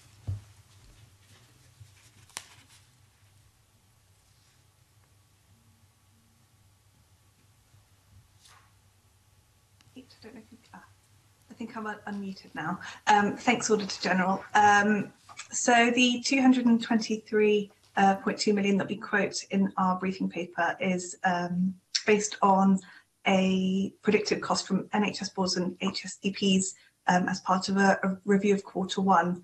Um, so it does incorporate uh, the predicted costs of the booster programme, um, but as we as we say in, in the briefing, that will depend on um, the, the accuracy of that and, and the final cost for this financial year will depend on whether any further advice is issued from the JCVI in terms of any further um, requirements for delivering vaccinations um, before the end of the financial year.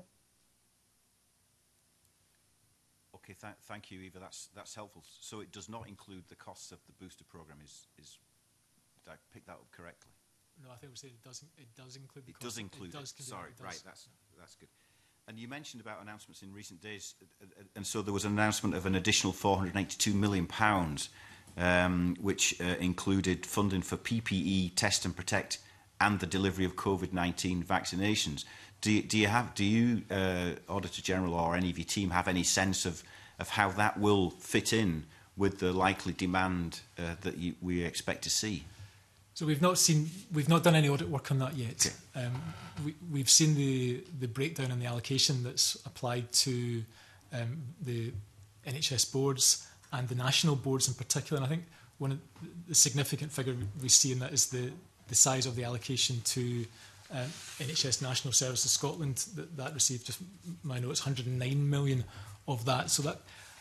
Um, it's the, the extent of the variability is something that can, we see throughout the briefing paper and, and our work on this, that the pace of change of clinical advice in terms of the allocation of booster programs. So I think it reflects the current status of booster programs. And if that changes, um, then we would anticipate that there will be further funding requirements uh, for the NHS um, and health and social care partnerships. But as I mentioned, we'll be tracking that closely through our audit work. An opportunity to update in the NHS overview report um, and then into the annual audit work that we'll carry out on the NHS boards over the course of next year as well. Thank you. and of course, we'll be coming back as well. Um, I think it might be even be next week to the PPE report which you produced uh, which um, which is in part of this terrain as well. Um, um, as I say, we've got a wide range of questions, and uh, I want to uh, begin by asking Sharon Dowie uh, to come in on an important area for us. Thanks, Convener. Morning, Mr Boyle. Um, you've touched on costings there, and in paragraph 18, um, the briefing explains that the vaccine programme has been reliant on temporary staff and volunteers, including nurses, GPs, dentists, optometrists, etc. Um, but this has been very expensive. Have you undertaken any work to cost this delivery model, and what has the cost been to the public purse? Um, we have we've we've done some our briefing paper captures worked up to the end of uh, September, and we, as, as, I mentioned a couple of times, Ms Dowie will be continuing to track and monitor this with further reporting um, next in the NHS overview report and then through the annual audit uh, work during the course of 21-22. Our understanding thus far is that around £55 million pounds has been spent on um, this staffing model um, uh, and as the, the Scottish Government we know has, has looked I was beginning to think about its plans for a more medium, longer term model of how it might deliver. What we expect to see is an ongoing programme of COVID 19 and booster programmes. Um, what that might um, end up costing, I suppose, will depend on the staffing mix inevitably that it, that it chooses to settle on. So, probably with a less reliability as to what that number might look like. But it's our understanding that um, it's around 55 million that it's cost thus far. You've indicated that as restrictions ease and NHS services recover, the availability of the temporary workforce will reduce. Um, with this in mind, do you foresee any implications for the rollout of the COVID-19 booster vaccine? It's, it's potentially difficult to be definitive um, on that point at, at the moment. That's, that's generally not what we're seeing at the moment. And, and maybe by way of example, I'll ask Lee to come in just about the the rate of progress that, that we're seeing of the, the booster program, um, although it's not captured uh, given the timing of, of our briefing paper, um, we are not seeing um, any kind of uh, real difference in pace of the rollout of the program. The point we make in the report is, is, is perhaps worth, um, by way of context, is that as we all recall, the, the early stages of the, the initial COVID vaccination program. Um, much of that was undertaken in large public venues, sports stadiums, uh, concert halls, and so forth. And the availability of these as social distancing is eased and, and lockdowns have ended um, is no longer what it was, and, and much of the programme is now being undertaken in more local settings. Um, as that rolls out over the course of the booster programme, as, as I say, Mr. we're not seeing that real divergence um, thus far But it's perhaps maybe worth uh, turning to Lee for a second just to give us a, a committee an indication as to where we see the rate of progress of the, of the booster programme. Thank you, Auditor General. So, um, just to update the committee, so as of yesterday, the 27th of October, um, 568 1,373 uh, booster vaccinations had been delivered. But I think we also have to uh, recognise, on top of that, that 53% of our 12 to 15 year olds have also now been vaccinated. Um, so I think also touching on um, Mr Lynn's er earlier point, I think the, uh, the vaccination programme will remain a priority. Um, so in terms of staffing, um, to prevent the NHS from being becoming overwhelmed this, this winter with all the other um, additional winter pressures that come along. Um, so I think they will maintain the staffing to make sure that the booster and the flu vaccine um, are rolled out um, as a priority going forward. It was mentioned as well that the Scottish Ambulance, Scottish Ambulance Service was drafted in to help support the delivery of the vaccine program Is that still the case? Or have, we obviously know that's under pressure as well just now. Have those staff been moved back or are they still, still helping? Obviously, at the, at the point there was mobile uh, vaccination units that the, the ambulance service were, um, but obviously, given the pressures that the ambulance service mm -hmm. are under right now, I'm sure those staff will be doing their their day job, if you like. Um, but I think what we will need to see is um, going forward in, in terms of trying to reach those more difficult populations, as we also talk about in our briefing, whether or not there is a need going forward to re-implement the mobile vaccination centres as, as, it's, as the demand for the vaccination is reducing because we are moving on to the, the booster programme, um, which is a smaller number of people than at the height of the, the mass rollout, if you like, then there has been less need for those mobile clinics. If I may, just I think one of the other points I would make about the, the workforce and venues is that, of course, we, we recognise the contribution that the armed forces made to the delivery um, of the vaccine programme and the support that they provided to um, the NHS in Scotland.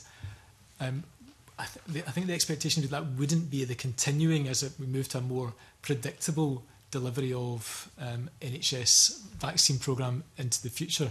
So it's just one of the other variables that, that was present during the early stages of the, the booster, of the vaccine program rather, and, and really the need and, and, and uh, as the NHS and Scottish Government are doing is to what the now means for a more permanent workforce to deliver uh, the vaccine programme um, in future.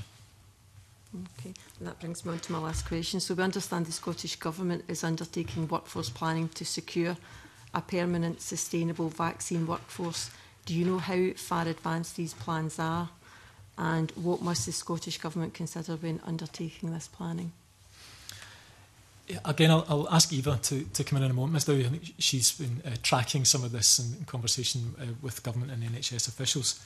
Um, so we know that work um, is underway and that the Scottish Government, as we, I think we've mentioned in paragraph uh, 19, uh, it plans to, you know, is, is thinking in terms of workforce planning, the use of registered nurses and so forth as, as the model to uh, to move into a, a more sustainable delivery model um, for the, the rate of the vaccine program. Mm -hmm we understand it's also making some um, thinking around what the cost profile of that might look like too. Um, so those plans are underway. Um, it may be a line of question that the committee may wish to explore directly with the government, if, to probably a better place to offer a more direct uh, assessment of, of their progress. But um, we know that plans and work is underway, but I'll ask Eva just to say a, a little bit more as much as we're able to. Thanks, Auditor General. Yes, so um, our understanding is that the Scottish Government's anticipating um, recruiting a permanent workforce. Um, the exact size and nature of that workforce will be for, for government to confirm, but um, our understanding is that they are hoping to um, recruit healthcare support workers um, as much as possible, working alongside registered nurses, which is a more uh, cost effective model than they've been able to use so far. Um, and that the, the role of that workforce um, would be su- to support uh, all vaccinations across Scotland um, on, on a sustainable basis rather than just COVID 19 vaccinations. But um, as we said, Scottish Government will be able to provide a more up to date picture. Thank you. Um, uh, one of the elements um, mentioned in the report is uh, this whole area of uh, digital uh, access and digital tools, as uh, which is an evolving picture. And I know that uh, Craig Hoy's got uh, a number of questions on this, and I think Willie Coffey might also want to come in on this area uh, briefly as well. But uh, Craig.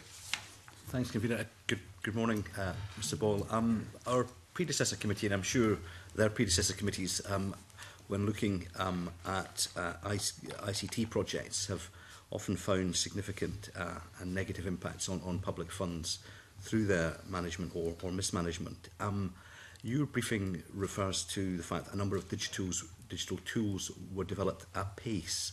Um, to date, have you um, picked up on any ICT issues similar to those that, that, that we've seen in, in prior sessions? we recognise the point you, you, make, Mr Hoy, absolutely, is that um, Audit Scotland hasn't been short of reporting to uh, predecessor committees on troubles in ICT projects. I've a couple of times made the point that that wasn't always necessarily representative of the, the success or otherwise of Scottish public bodies in, in delivering ICT mm-hmm. projects, and that the, the, nature of our reporting, as perhaps alluded to in my introductory remarks, can often infer that there are um, that that's representative of the entire delivery of IT, ICT projects or, or public services.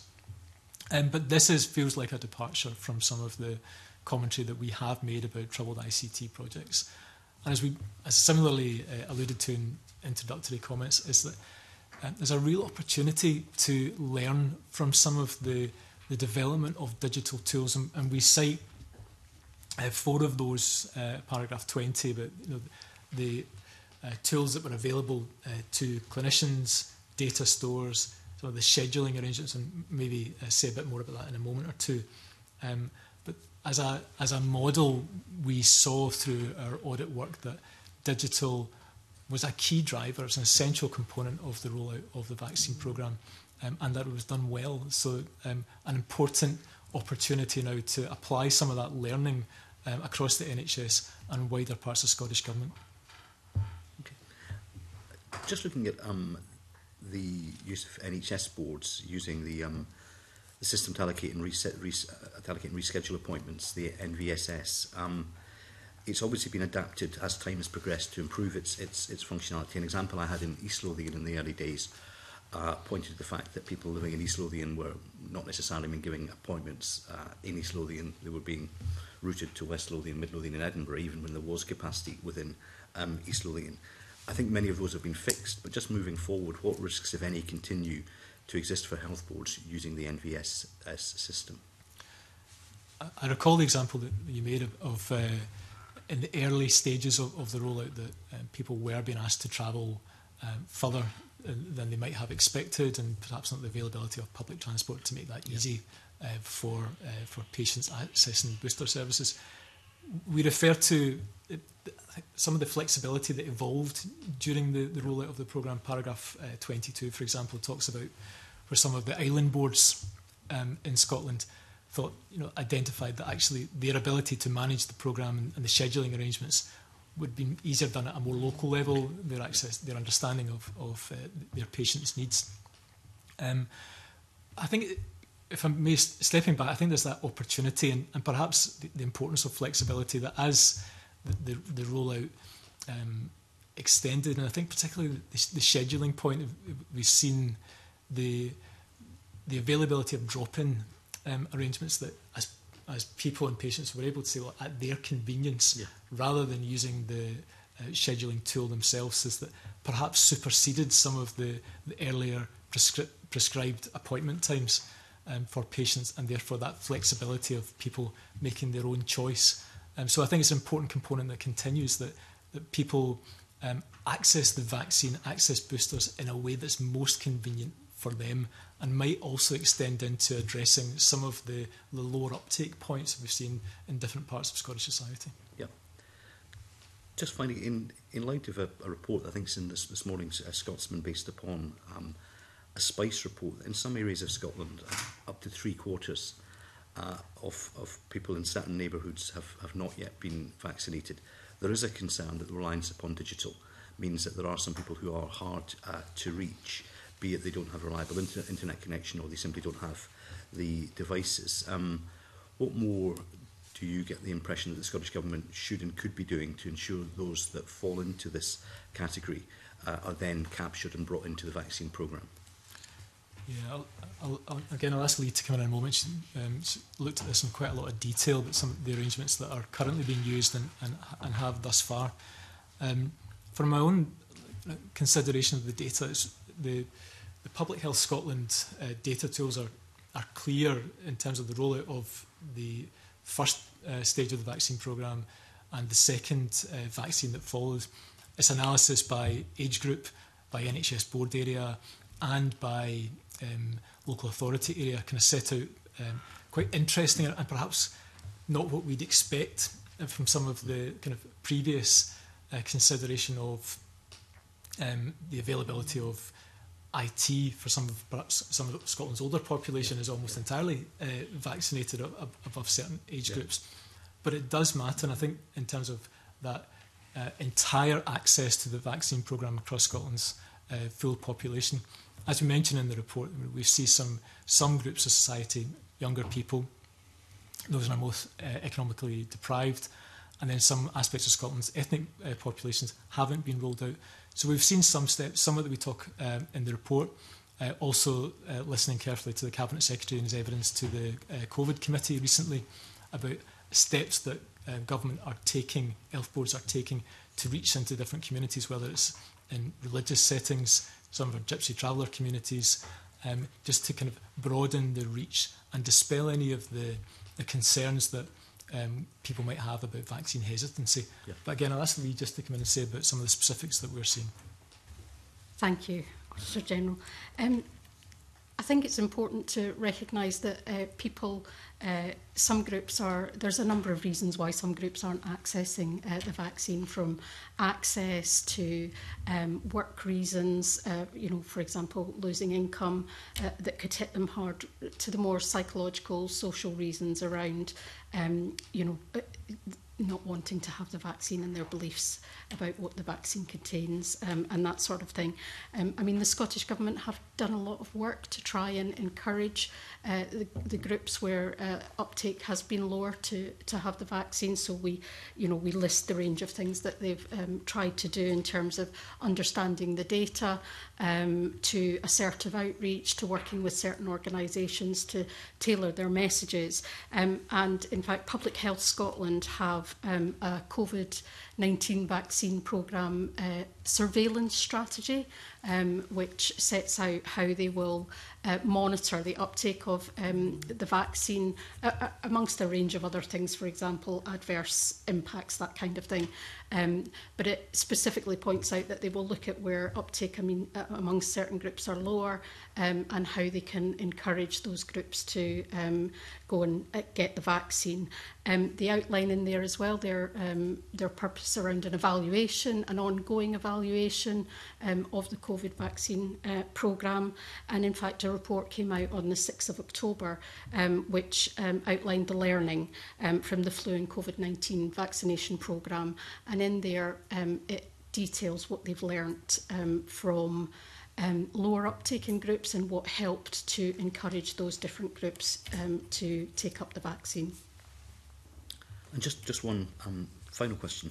Um, one of the government's core rationales for um, the system of vaccine passports was the hope that it would um, lead to an uplift in vaccination rates among certain target groups, one being uh, the, the young. Obviously, the system is still in its relative infancy, but have you had any evidence to suggest as yet that it's, that, that it's, it, it's actually doing that? I think it's not something we've looked at yet. Okay. I think the timing of our briefing really captured data and arrangements up to the um, up to September. So the decisions and the application and the rollout of uh, vaccine passport arrangements isn't covered in this briefing paper. But as, as I mentioned, there are opportunities for, our, for us to take stock and report further, and, we'll look to do that through our overview report early next year. I'm, I'm not sure we want to dive into a, a full-scale debate about vaccine passports this morning at the Public Audit Committee. But uh, um, I, Willie Coffey, I don't know whether Willie, you've got some questions, um, but both on the yeah, both on the digital stuff, but also on the population reach and so on just a few convenient thanks very much. Uh, Stephen, I wonder, were there any issues picked up um, in terms of uh, the lower age group, the low numbers in certain age groups and certain communities and so on, that may have been attributable to the digital access issues? Did you pick up any of that, or do you think it was different? It's different reasons that people in those age groups and those communities numbers are lower coming forward for vaccination again, I'll ask the, the, team to come in in a moment just to uh, mm. uh, exp express any uh, views on, on, the work that we've seen. I think the answer is that there's probably a combination of, of, of factors. Much of it will be about the, the timing of the rollout of uh, of the program. any perceptions in society that you know they were uh, less at risk in terms of access rates. I think, as Lee's mentioned, there'll be factors about um, people's working arrangements, um, as well, all of which will, will have played into the factors that will have caused the, the different rates. It, it probably is a about a limit to, to, to where I would go beyond that and, and perhaps point to um, more academic research about the kind of some of the societal uh, motivations for people to access um, the vaccine program. What's, what's clear from our work, though, is that you know, the, the data is telling us that younger people haven't received the vaccine program to the extent that some of the more at-risk groups um, in society have. But I think there's probably causes for, for optimism. I think, as, as Lee mentions, about the, the extent to which the, the youngest group eligible for the vaccine program, the 12 to 15-year-olds, is already over 50%. And that kind of that pace of, of progress, um, I think, feels positive at this stage. Mm -hmm. I mean, uh, you've said that I mean, the apps, the digital apps worked really, really well and had to be developed at pace and so on. But I'm always asked questions from the public saying, where is this data kept? Where is it? Um, and I sometimes ask GP practices questions about, you know, constituents and issues and so on. Where is the data? Who keeps it and who's making it secure?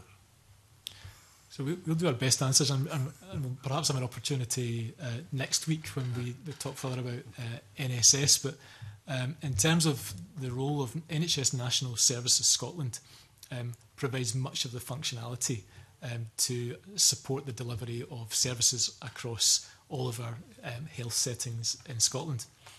And Lee might, might want to come in and, and say a bit more, but I think we refer to um, in the report the National Clinical Data Store which is one of the, the kind of the real components of um, the data that we all have. We all have uh, what's referred to as a, a community health index or a, a, a CHI number that sets out user our, our unique uh, reference point. Um, and that kind of really forms the, the building blocks for which to roll out various programs, the, the extent of a vaccine program that we are. Um, there's, this, it comes with huge responsibility and importance, of course, Mr. Coffey, that um, this is managed safely, securely. All of the right um, safeguards are put in place, managing people's um, personal and very private medical uh, data that that's done uh, securely.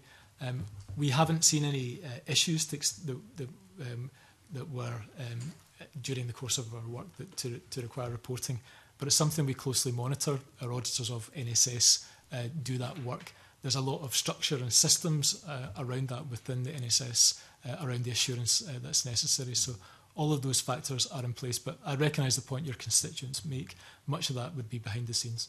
Mm -hmm. Maybe our last query on it, Convener, about compatibility with other jurisdictions. I'm talking about the digital platform for it. We, we also heard stories from here and there and everywhere about if people were moving from country to country, the digital apps perhaps weren't compatible. Are we, by and large, ironing that out, or are there still issues to resolve in that area, do you think? It's, I, I recognise the point you made. I think that particularly these issues surfaced where people received perhaps their, their first uh, uh, vaccine in another part of the UK and then sought to access the second uh, vaccine uh, in Scotland. Um, and I think again, referencing the evidence that was given to the uh, COVID 19 committee earlier this month, I think that, that issue was acknowledged that it had been challenging, but the progress was being made uh, to resolve that point. It's not something we've looked at in, in detail uh, for the purposes um, of this briefing paper. Um, and I think probably my sense is, is that, that the um,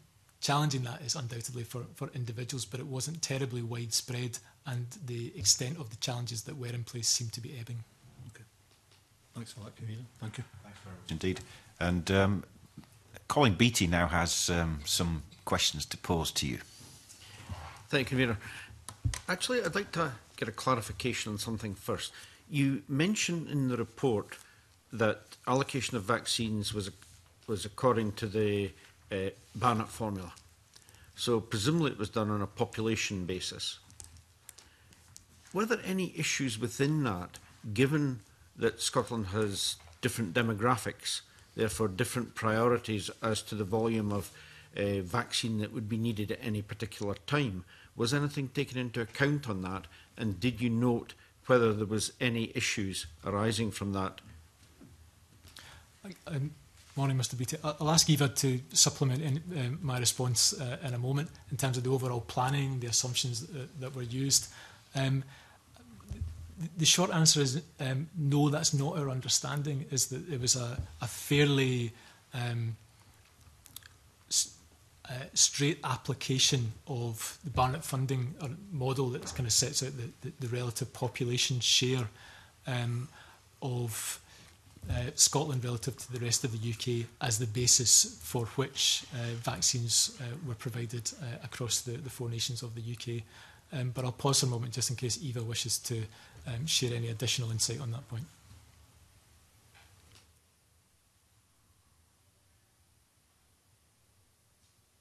Thanks, Auditor General. Yeah, just to say um, that the the Scotland's share of um, the vaccines coming into the UK is based on the on the Barnett formula. Um, there was detailed modelling that took place um, at Scottish Government to um, more effectively allocate, I guess, the, the, the share of the vaccines across um, Scotland based on um, what NHS boards were able to deliver at any given time. Um, and this this was deemed pretty effective considering how quickly the rollout happened and um, the, the high uptake across Scotland. So the reassurance is it, it didn't impact on, uh, you know, due to the demographic differences? I think I think given the, the, pace and urgency of the, of, of the rollout of, of the vaccines, that um, I, I can understand the point you make about whether you know a, a more detailed analysis in terms of uh, rural components, age profile, um, and, um, and and risk factors, whether that ought to have led to a, a, a more detailed analysis and negotiation between the four nations. Um, but it's our understanding, as we say, is that that was done at a higher level on the basis of relative population share. Let me turn to some of the uh, points that uh, Willie Coffey touched on. Uh, I'm looking at Exhibit 4, which has some fairly detailed information here. And the source of this information, as I understand it, is Public Health Scotland.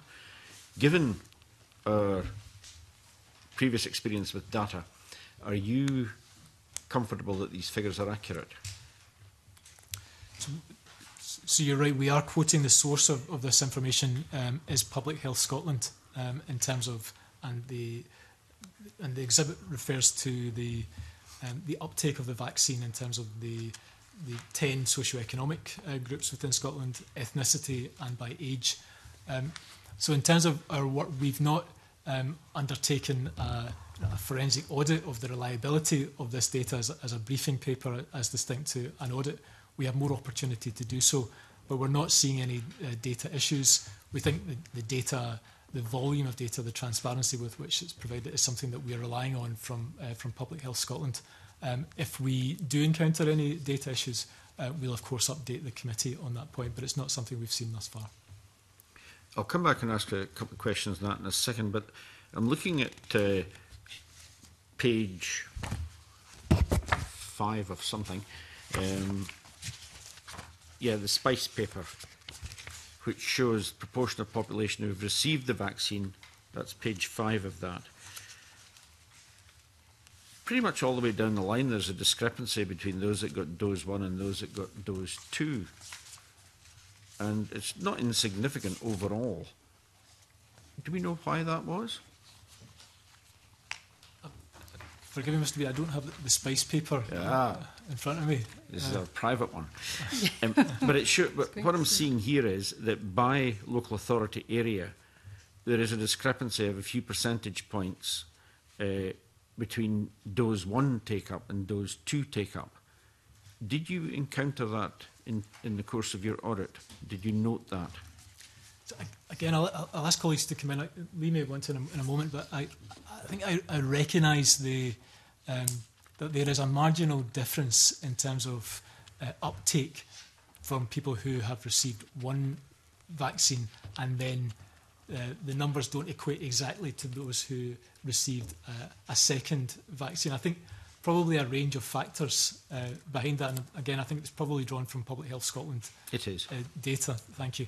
Um, that whether it is uh, that sense of, well, I've had one vaccine, um, I, that, that will be sufficient, or then I'd be speculating about whether there are work factors that have stopped in place. But I, but I recognise the data that, that you're referring to, that there is a marginal difference between uh, members of the population who have um, opted for one vaccine and then not taken a second vaccine. Now, looking at, uh, again, coming back to the analysis of uh, take up of the vaccine, there seems to be indication that in the cities where I guess you'd expect uh, a higher take up than in rural areas, that's not necessarily the case. And the vaccine uptakes below 50% in areas occupied by students. Is it possible that that is skewed by the fact that many students who were resident in, say, Edinburgh, in fact, went home during the COVID and got their shots there. Is it, is it masking uh, perhaps a, a better situation than we actually are taking out?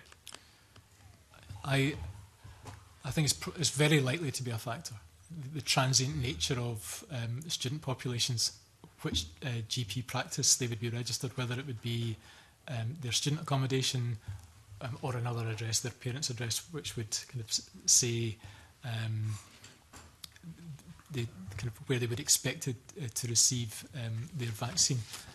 If, if I may, I think on the whole, it, it, it probably, given the so far through the, the, the first and second stage, it feels like a, it's um, these, although important for the individuals, I think in totality, it's probably one of the kind of things, the learning points, and, and, and for NHS boards and, and futurists to kind of to tackle. But in overall terms, um, this, the extent of rollout of the vaccine program you know, over 90% for first dose and, and just marginally short of that for the second dose, um, exceeded the expectations of the rollout of the vaccine program which initially had a, a target of around 80% important that it is that, that these points are explored further. Hmm. Looking overall, um, the vaccine program is obviously, as you've highlighted, lower in some groups of the of the population. Now, your briefing states that the Scottish Government is taking action to address this lower uptake. What is the action that's being taken, and is it sufficient? Um, Lee may wish to comment on the, the very specific steps that are, are taken um, on individual groups. Um, wh whether it will be uh, sufficient, I think, is one that we'll want to return to to uh, take a judgment uh, in the overview report um, and beyond to whether or not those three groups of society that uh, for those uh, younger people are more economically deprived communities and then some of our ethnic groups um, uh, just about the steps that have been taken. I'll uh, ask Lee just to update the committee on, on what we know. Thank you, Auditor General. Just about your point about the data, uh, Mr. Beattie, I think we have to also recognise I, I, I don't have access to the, the spice paper, so I can't see the, the uh, data that you're looking at. Um, and we didn't in our briefing go down to the kind of local authority area um, break up either.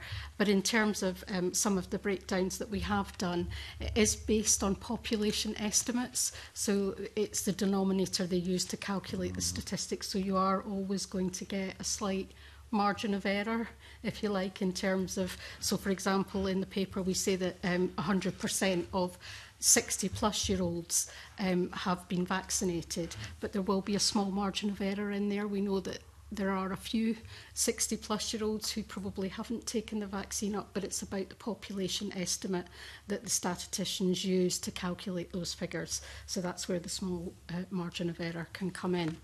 Um, in terms of um, the um, trying to target groups where uh, uptake has been lower. As, as, as we say in our um, paper, the uh, Scottish Government did undertake a health inequalities impact assessment, um, which looked at the impact that the programme, the rollout of the programme would have on different groups. And there are quite detailed recommendations within that assessment um, around the actions that they should take. Sorry um, to interrupt, has that impact assessment been published yet? it hasn't. And as you can see in our briefing, we do recommend that that should have been, uh, we would like to see it published. because I know think why they haven't published it? You'd have to ask Scottish Government that. Okay. I think. Okay, back to the action. um, so, um, in there it details a lot, uh, you know, around messaging, around how you reach these different populations.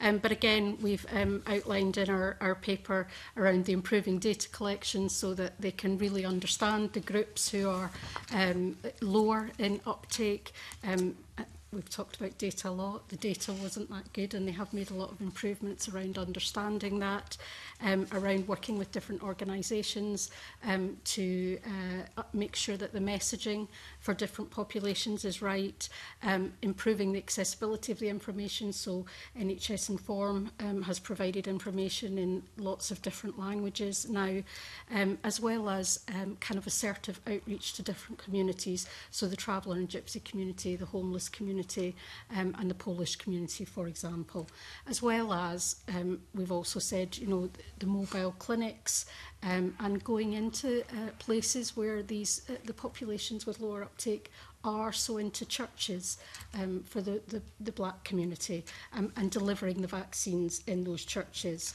Um, how successful they've been, I think, is a, is, is a more difficult question um, because I don't think we'll ever have quantitative data to show the difference that it made because I think it's very difficult for us to know what changed people's mind, what tipped, tipped the balance to decide to uptake the vaccine.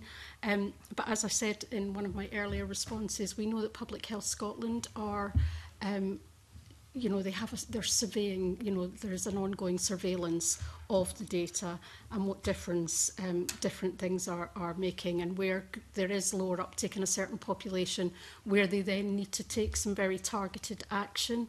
Um, and in fact, yesterday I was reading a, an article from um, Voluntary Health Scotland, so th they represent the third sector health and social care organisations, and um, they were talking about um, the fact that NHS Forth Valley and NHS Fife were, have been able to show that assertive outreach to the homeless population and the traveller and gypsy um, population um, has succeeded in um, getting people who have never engaged in any kind of vaccination programme to take the COVID 19 vaccine. So it's anecdotal and qualitative kind of feedback, but I think we have seen successes in encouraging people, but whether we will ever have the quantitative data. But I guess what we now have in terms of the better data collection is a baseline to work mm. from going forward.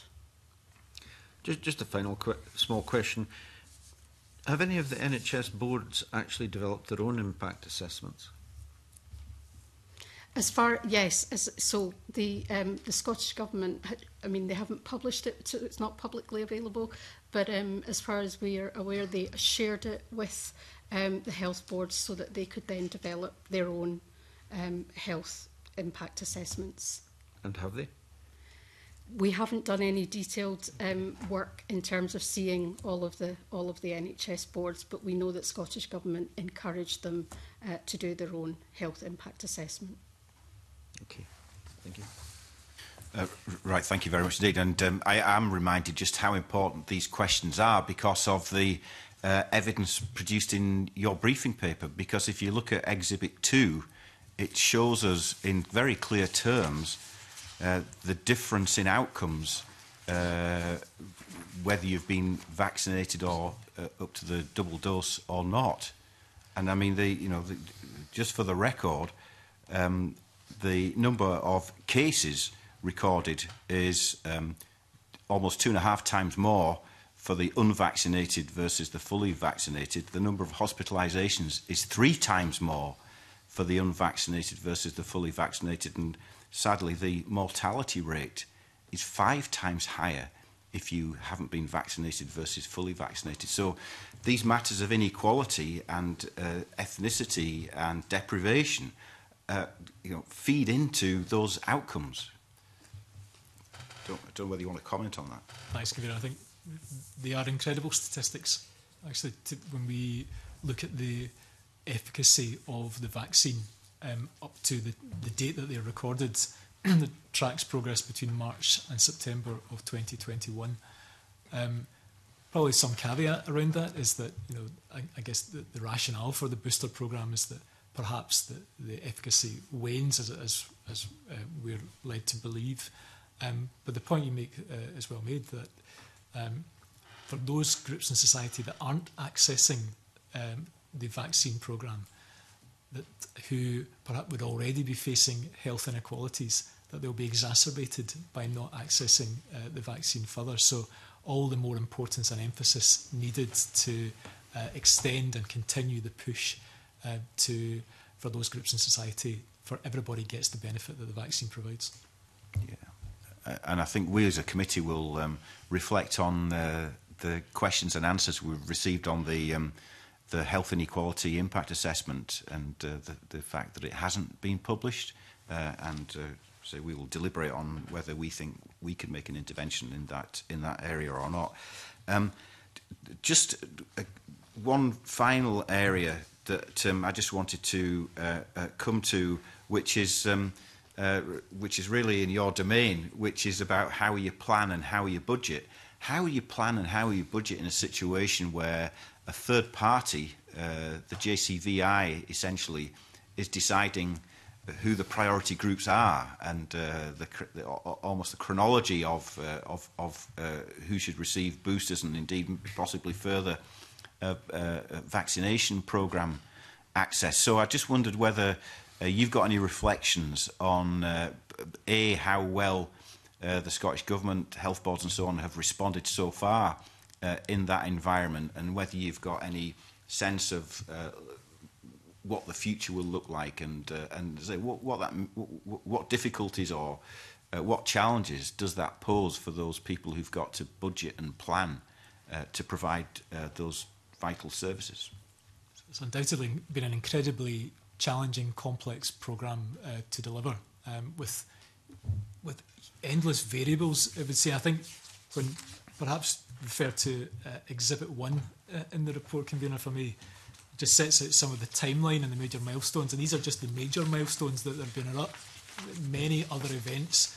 So we have a full page exhibit that sets out the, the number of events that have happened that have had to be um, both anticipated and responded to. So some of those, you know, as, as you've mentioned, have been uh, orientated around um, uh, clinical judgments from the JCVI about the timing, the pace, the rollout of the vaccine program. All of that clearly is very difficult to, to plan and budget around. Some you know, the finances have been dealt with um, in, a, in, a, in a different way than would have been uh, in a normal set of circumstances with the you know, that the, the full cost of the vaccine program have been covered and not left to individual NHS boards uh, to deal with. Um, so and I think I would my answer will mirror I think the overall judgments that we've made in, in the briefing paper that there has been um, uh, excellent progress in the delivery of a successful programme, um, but that challenges still remain to deliver uh, the programme into the future, given the extent of the variables, the need for a, a permanent workforce, the importance of reaching all components and parts of Scottish society to ensure that everybody gets uh, the benefits of the programme and that, that there are still variables. So there could be you know further waves, uh, further kind of application of booster programs, um, more clinical research. I'm sure about the the durability and efficacy of vaccines into the future. Uh, and what we look to do to, through this briefing paper is to provide an update and a snapshot, but recognise that there will be more uh, reviews and more audit work undertaken, um, and we'll, do, we'll begin to do more of that in early 2022.